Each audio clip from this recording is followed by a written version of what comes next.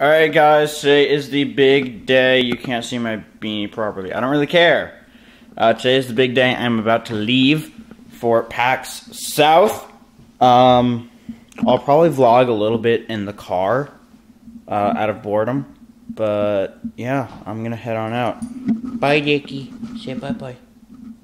Okay, not while you're doing that. Dicky. Chai Chai, come say bye bye. Come here. Come say bye bye. Come on. Bye bye.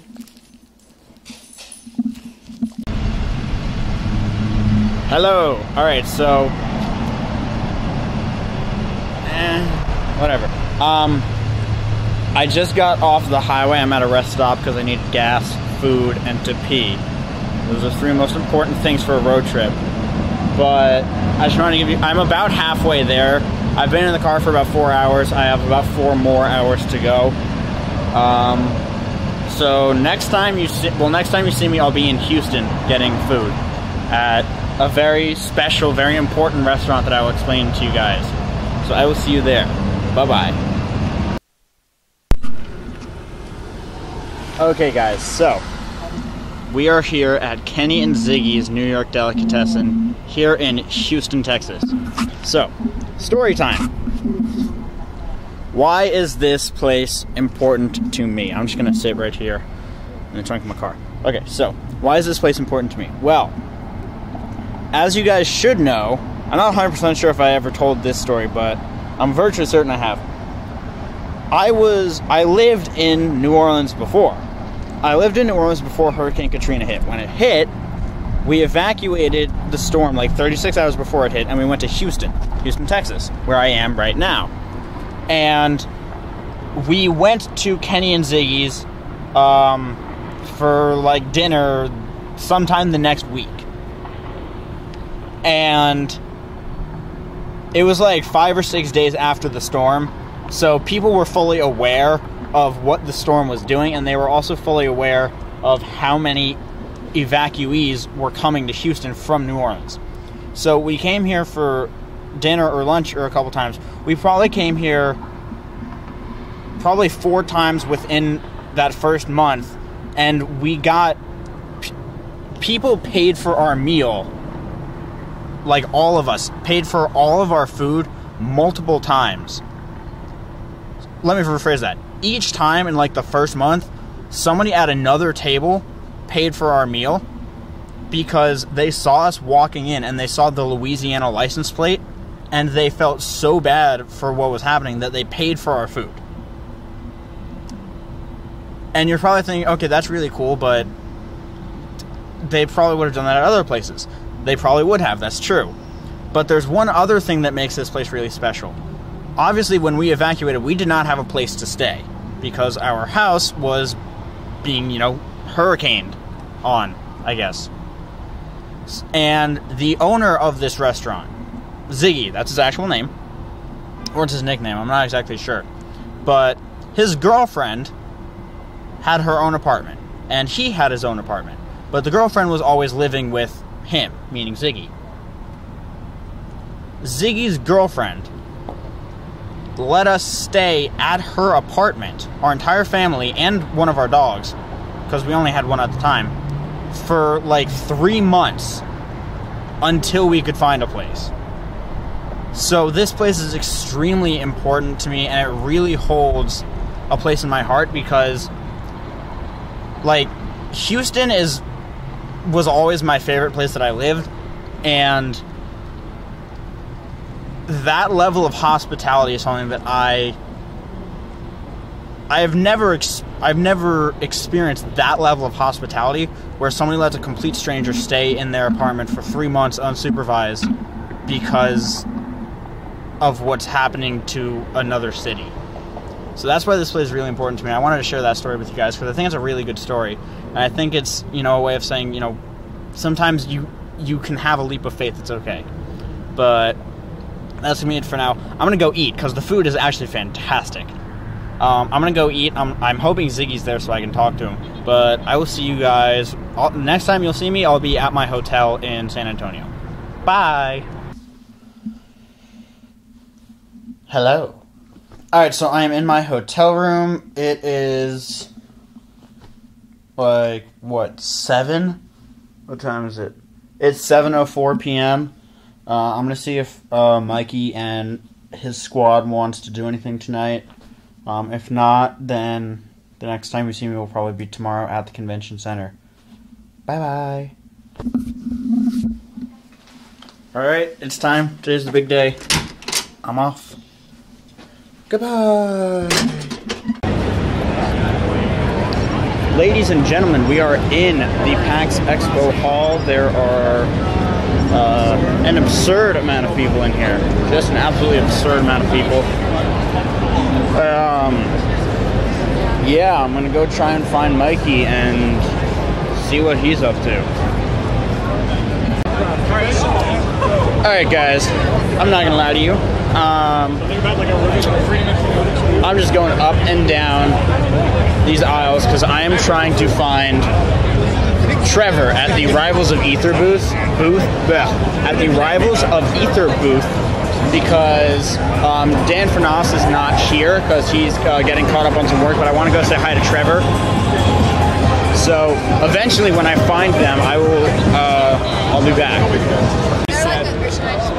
Trevor, say hi. Hi. This is Trevor. He works with Dan Fornace. Uh, I was gonna go meet Dan, but he's not here. It's very sad. Yeah, it's terrible. All right, guys. So, interestingly enough, can't find Mikey, but we found somebody else. Hi. How you doing? We found Shino, my new neighbor, What's poppin'? and um, We chilling. We chilling. we Hang ch- eventually we will find Mikey. Yeah, Eventually. Mikey is like ghost, but everybody else is over by the PAX Arena playing Smash, which I don't condone it. I I, I, am, I do not support that either. Yeah, that's that's them. I know Fanatech's over there, Operation Android, Sacred Fire, Negro, Skywing, all of them. Everybody's, everybody's trying to be a Smash dude. Close to top tier. Then fucking Noel, uh, not Noel, John about to get bodied by top tier Smash players. We found Mikey. Your uh, first round, John plays top tier Smash. He's like top eight. All right, guys, we are here in the arena. We got the operation. We got the guy that just two stocked me miserably. And uh, That was clean. Mark, I don't know. Mark over there, he's uh doing the most. And then we got a Nestor. All right, ladies and gentlemen, lucky legends of all ages, genders, sexes, sizes, and other denominations therein. We are currently here at PAX South Day 2, and we are on the hunt for Glitch X City and Alex, aka Feels Rad Man, aka Rad Puppy, aka Pupperonis, aka Radadactyl, aka Haxdactyl. She, she, she goes by a lot of names. But we're hunting and eventually we will find our prey. Not that funny. Say hi, Noel. I know well. How you doing? How you doing there? Same camera. Really? Seriously? Yep, same camera. I got the same. I'm asking. Hi, Noel. No, because everybody gonna be out. I'm asking. Let's see. Sound off. We got Noel. Probably to the players. We got Shino. We got Mikey. We got Sacred. We Oh, so we got got Fan Attacks over there. We got Mark. Yeah, they, they said it was a bar, but it was like. We got Ultra Ultraneck. We got They didn't say Shofu, nothing about aka. No, I live in New Orleans. Everything. He goes by everything, just aka.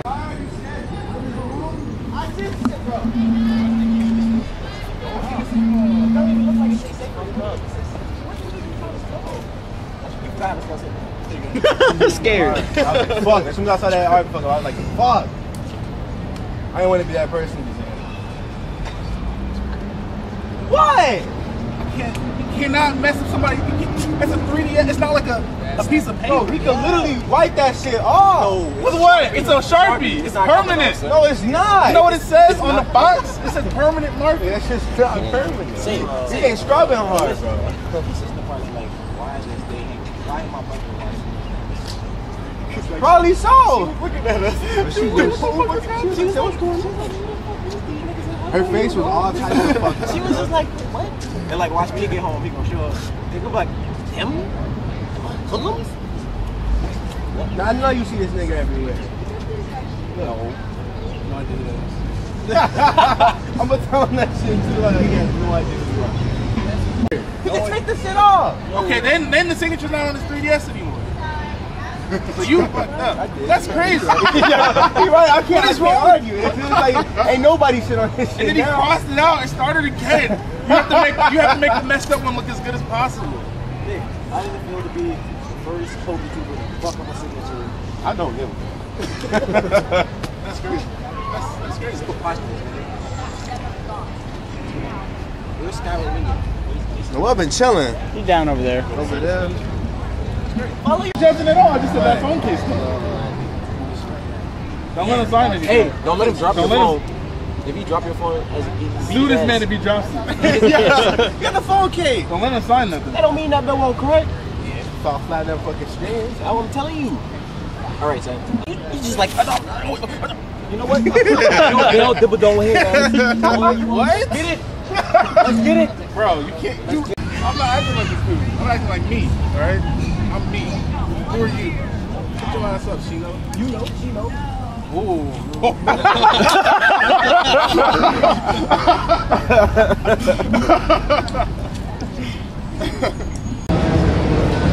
Guys, look what we found.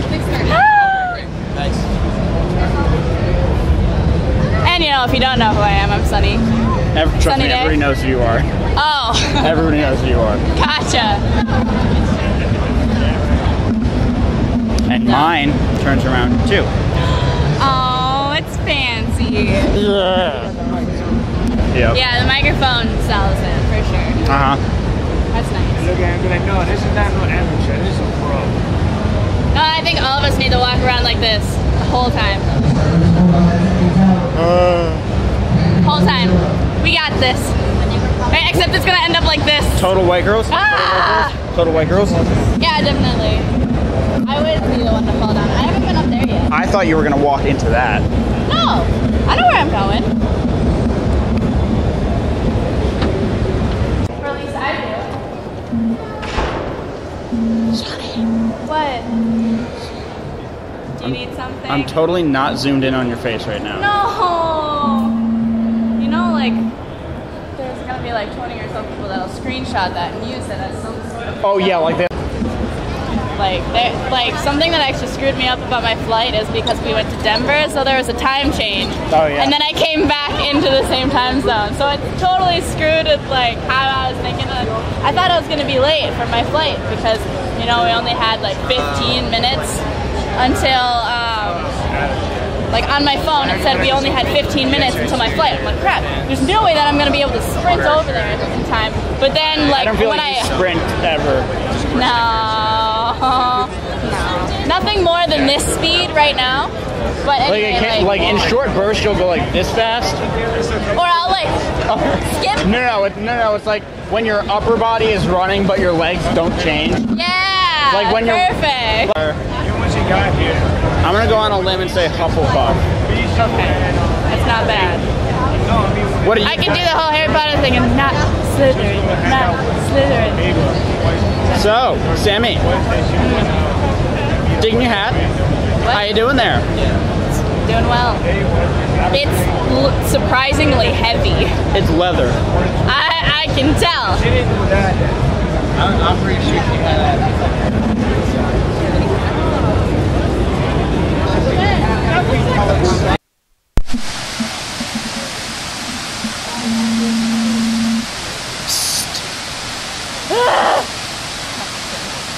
It's so nice here. Why do you think I brought us here? It's really warm outside. It's Texas. It's nice. yeah, seriously. I I know, but like, it is literally Antarctica Here, get up. Why? I'm relaxed. Everybody needs time to relax. Hi. What's up? Hi. That's my thumb. It is your thumb. That was my thumb. I didn't realize. We're here at Waterfalls of Waterfalliness. The Waterfalls of Gravity. Hmm? The Waterfalls of Gravity.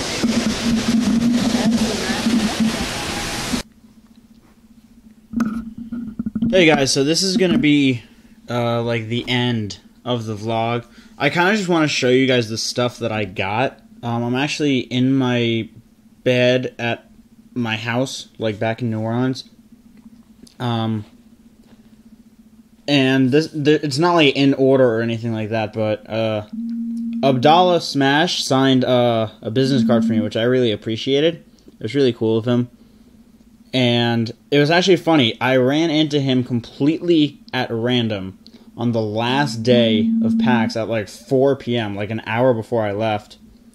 And he was just super nice and really down to earth. So I, I was just like, "You're Abdallah," and he's like, "Yeah," and that's pretty much how all of that went. Uh, so he signed a business card for me, which was really cool. Um, these are two uh, loot crate. I'm just gonna call them loot crate models because that's basically what they were. Um, we got the operation. Uh, he he gave me his business card as well. But most of what I got from there was I was able to do a lot of networking with game developers and stuff like that because there's only so many content creators at um, things like PAX, but there's a lot more. There's a lot of game developers and a lot of uh, indie game developers, especially. Uh, like this is for Megacopter. Um, that was one of the indie games being developed. Um, Engage. Uh, the guys there were really, really cool. I'm definitely going to stay in touch with them because I love how the game looks. Um, this is uh, Natalie's card. She was one of the developers. Well, not a developer. She was a. Uh, she's an artist for one of the indie games that was there. Um, this one here is for R and D Labs. It is. I. I honestly can't remember what it's for. I think I remember what it's for, but I don't want to say it and be wrong, but I'm pretty sure it was for a game called. Oh my god, what is it called? It was a game that it took place in Florida, right outside Jacksonville, and I can't remember what it's called for the life of me. But I'm pretty sure that's what this was for. Um, Filthy Casual. Uh, you're gonna see me wearing their stuff uh, on the channel a lot basically, um, I just saw this. Instead of putting an at symbol, they just did that. but um, I love the sentiment behind their stuff, which is, you know, in essentiality, it's saying for the worst gamers who have the most fun. And uh, yeah, that's me. Um, I got this from the Stories booth. Uh, Stories is a really cool uh, game for PS4, and it's going to be on uh, PC, Mac, Linux, I believe. But um, yeah, it was just a really cool game. When it comes to games, I'm big on uh, art style. That's a big thing for me. Um, this game right here, uh, there's a code on the back for the game, which is why I'm not showing you the back.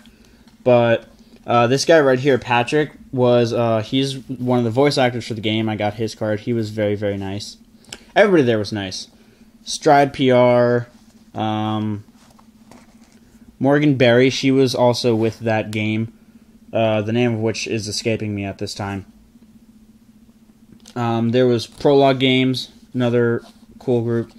Black Ice is something that you're going to see, or that you would have seen on the stream yesterday. Um, this is one of those games that As soon as I saw it, I was like, okay, I want this. We got some other stuff here. We got Katie Soft Studios with Jonathan Stouffer. Again, very, very nice. Everybody, th- like I said, everybody there was nice. Um, this was from Game Wisp, which is a, I think it's like an alternative subscription service, something like that. We have uh, a card from Evolve PR.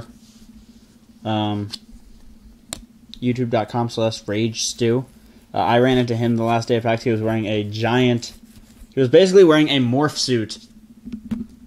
He was basically wearing a, a morph suit with the YouTube logo on the chest. I'm currently wearing my Detroit Steel Wing shirt. Crimson, I hope you are seeing this video as proof that I do, in fact, have one. Even though I'm sure you believe me. But uh, you guys already saw my post PAX thoughts. Um, you saw those on Monday. Um, I'm recording these on the same day. But oh, one other thing that I got uh, was these. I got myself some Gunnar glasses because when I'm editing late at night, these will help. Um, and you know, gotta go with green. But when I'm editing later at night, these will help uh, from the eye strain mostly. Uh, I know PK Sparks has a pair of these. But yeah, that's pretty much it. I'm gonna go keep editing videos and piece this vlog together and all that sort of stuff. But I want to thank you all so very much for watching. If you enjoyed, make sure to leave a like, comment, and subscribe down below. It's very much greatly appreciated. But with that, I'm gonna get about best out there. I will see you all soon. Goodbye.